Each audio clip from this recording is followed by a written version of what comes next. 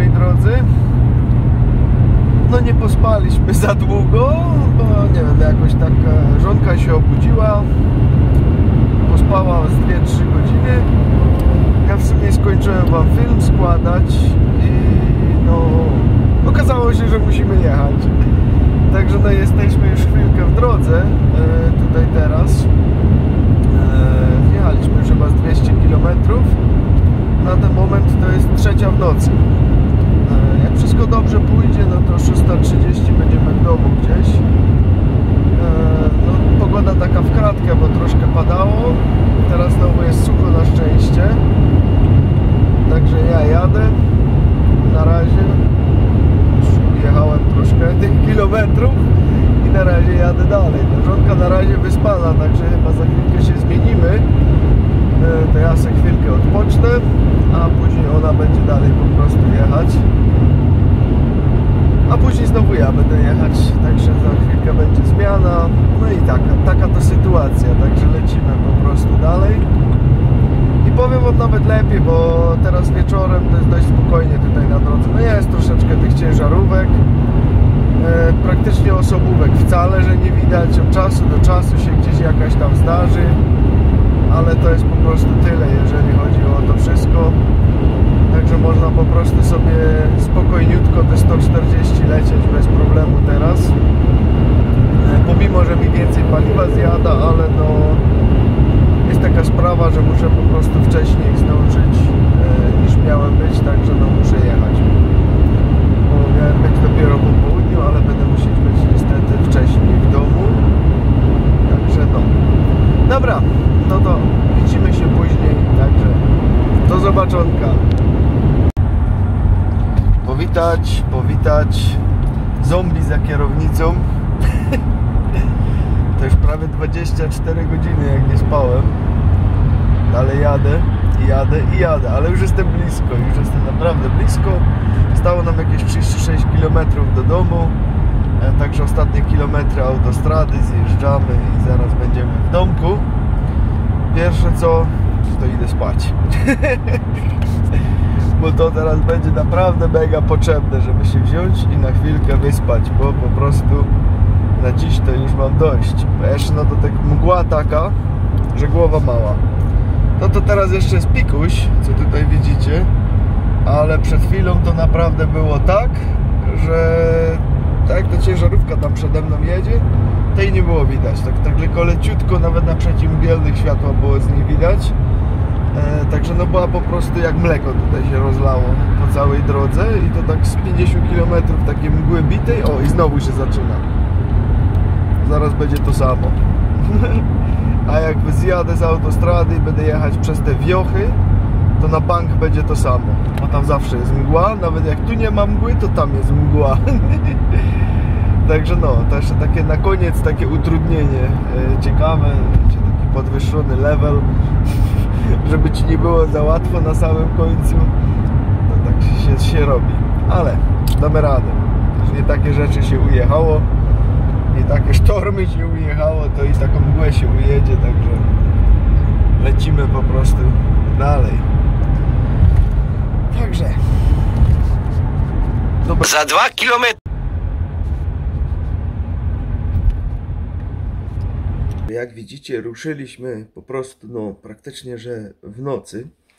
No, wyszła taka sytuacja, jednak e, z drugiej strony, e, w tym momencie, no, praktycznie zaczynały się też te wszystkie zalewy e, w kraju, że ta woda zaczynała po prostu tam gdzieś wybierać, te przelewy, ta powódź i tak dalej, i tak dalej, więc no, praktycznie że tak jak zawsze na ostatni moment, tak po prostu żeśmy się przez to wszystko prześlizgli.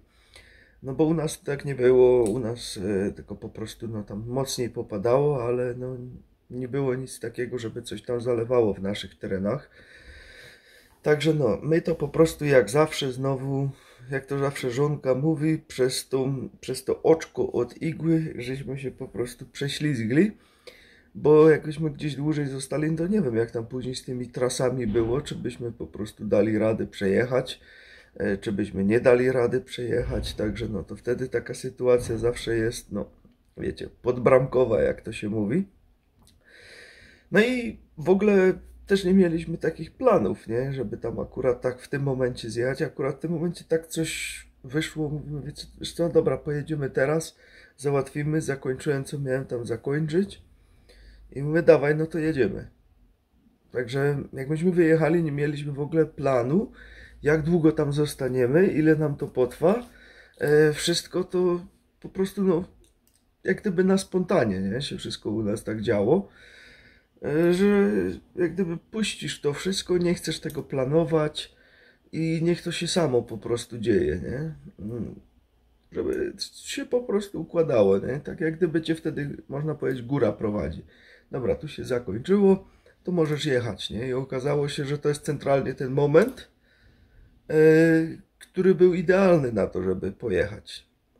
No bez takiego stresu i wyspałbym się, to może jakbym dzień wcześniej zjechał, ale jak widzimy, no tutaj wszystko idealnie, pięknie się ułożyło, no i za to po prostu trzeba być wdzięcznym, bo dzień później i już by to mogło całkiem, całkiem inaczej wyglądać.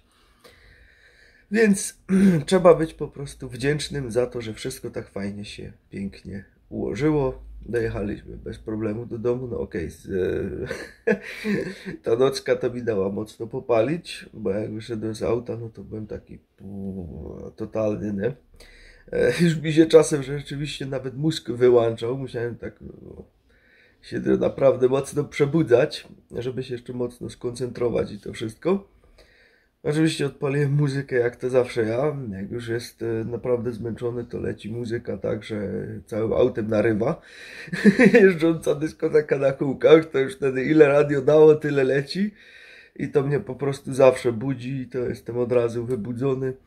Wiecie, to jeszcze te czasy, kiedy biegałem po dyskotekach i tak dalej i człowiek zawsze tam był nabuzowany od tego wszystkiego zawsze, no także to jak gdyby utkwiło się u mnie w pamięci komórkowej. Kiedy jestem zmęczony, to wystarczy naprawdę odkręcić muzykę na maks i ja od razu wracam do żywych, nie? W tym momencie. Niekiedy bywało śmiesznie, bo żonka obok mnie spała, my zaczynałem słabnąć, puszczam muzykę na maks, a ona dalej sobie śpi, to w ogóle nie obudziła, a to radio naprawdę potrafi tak bić, że aż się lusterka trzęsły, szyby się trzęsły w aucie, wszystko. A ona dalej śpi, to po prostu nie obudzi. Dopiero się gdzieś tam pół godziny dalej później obudziła, mówi a co ta muzyka tak głośno? Także zawsze wesoło z tym wszystkim, ale wszystko pięknie się udało, dojechaliśmy, także gra gitara, jak to mówią. Pamiętajcie moi drodzy też jeszcze cały czas o konkursie, który tutaj wystartował niedawno. Jest to nowy konkurs. E, jak działa? Już bardzo szybciutko tłumaczę. W opisie tego filmu macie wszystkie produkty, które biorą udział w tym konkursie. Tam wszystko po prostu znajdziecie. Są to produkty, które są przez nas sprawdzone.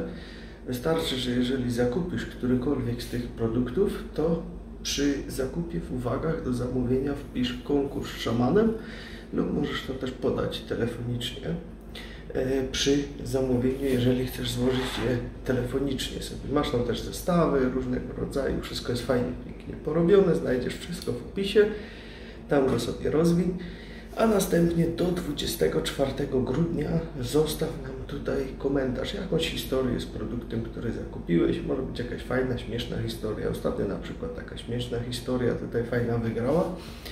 I możesz wygrać tym razem bon na 15 tysięcy złotych do tego sklepu, już opłacony z podatkami, ze wszystkim, czyli na czysto.